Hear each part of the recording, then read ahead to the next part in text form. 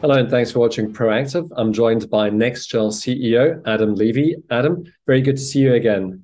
Great to see you again. Thanks for having me.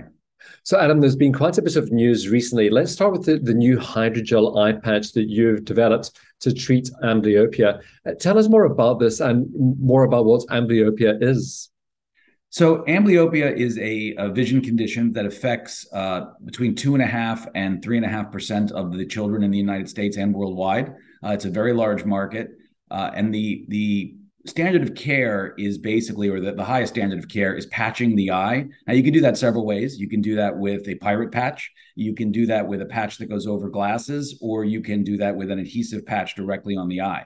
The, the, the difficulty with the first two is that there tends to be some compliance issues. So imagine uh, a child who's trying to see something or read something, they have a tendency to lift the patch up and cheat if they're wearing a, a, pirate patch, or look out the side if they're wearing a glasses patch. So the highest level of compliance is generally an adhesive patch, which are available in the market, uh, placed directly over the eye. However, those adhesives uh, cause skin irritation, redness. It's a real problem. So, how does the hydrogel eye patch work then, Adam? So this is exactly the core technology uh, that our hydrogels are, are, designed for, which is the interface uh, with a medical device and human skin. So our hydrogels are incredibly gentle to the skin. Uh, you're not going to get any of the blistering, tearing, redness, irritation that you get with a standard adhesive. So it's really comfortable. Uh, it's very cooling, and it comes off completely pain-free. Will not pull an eyebrow or an eyelash. It is a very gentle solution, um, which the pediatric ophthalmologists seem very, very excited about. So, Adam, you said that about two and a half percent of children are uh, affected by this. So, what sort of market size would you be looking at in the United States, for instance? So, of course, they're not all treated and patched at the same time. So that based on the number of children in the United States, generally the patching is is a percentage of their lifestyle. So, by our best estimates, we believe that at any given moment there's 250 to 400,000 children um, that are being treated in this way.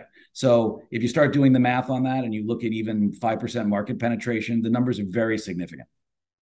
So when would this be available and would it be uh, prescribed by doctors or by op- optometrists and ophthalmologists? So you won't need a prescription for it because it is just a very simple eye patch. Um, we are soft launching and sort of um, showcasing it uh, at the Wills Institute on November 4th, where a bunch of pediatric ophthalmologists gather for their annual meeting. Uh, but we expect and anticipate the launch around April of 2023. And it will be sold primarily through the ophthalmologist's office because they will be the ones recommending it.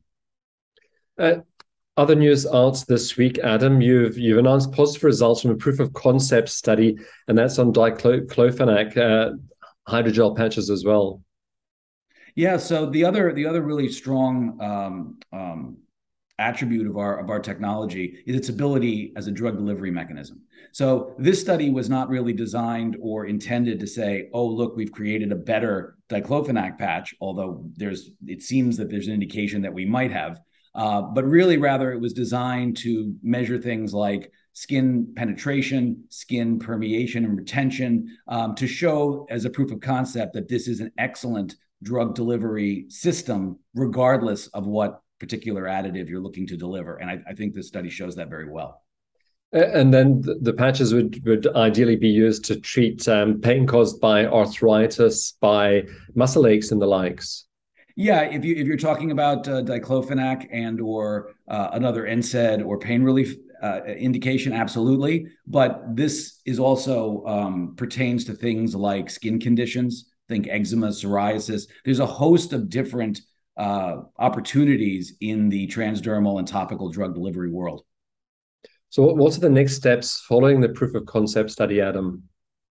So we're going to take this data. We're going to seek uh, a strategic partner, either for this particular compound, diclofenac, or something else. Um, and, and, so this data just kind of helps us drive the point home that you know this would be something that you should really consider because in addition to its its its very high uh, performance rate in delivering the material, it's also incredibly gentle. So, you know, if you're using a standard adhesive patch that's available on the market now, and you have that fragile, crepey skin, uh, you know, perhaps due to age, perhaps due to having a condition like diabetes or being on a blood thinner, um, you know, this is an option for you, whereas an adhesive patch is not as well. So it's it's safer and gentler for the skin, uh, and it is also very, very uh, efficacious in terms of delivery. Uh, Adam, what, what else should investors be looking out for from NexGel as the year draws to a close?